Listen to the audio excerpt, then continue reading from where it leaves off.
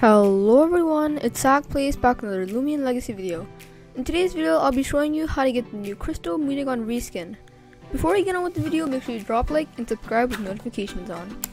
So, since this is just a reskin, there is no actual stat changes of Mutagon itself.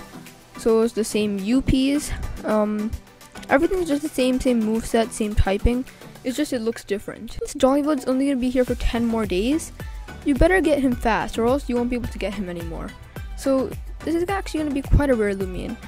Um, it's 1 out of 128 with boost and charm. It's 1 out of 256 with just the boost. 1 out of 512 with just charm. And 1 out of 1024 if you're being free to play. Um, so this basically means it's the exact same odds as a regular roam. Um, so yeah, that's pretty good. And honestly, I just think it looks really cool. And the fact that you can get like multiple of these in the day since um boost and charm, it's only one out of 128, which isn't that rare. I mean, since we've gotten a Mutagon reskin, it's logical to get a Cephalops reskin in the next update. So maybe we could get a Cephalops reskin in the next event. Maybe not, but this is still a really cool Loomian.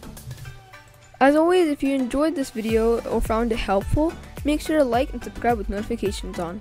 That way you won't miss out on any future videos. Goodbye and keep being awesome.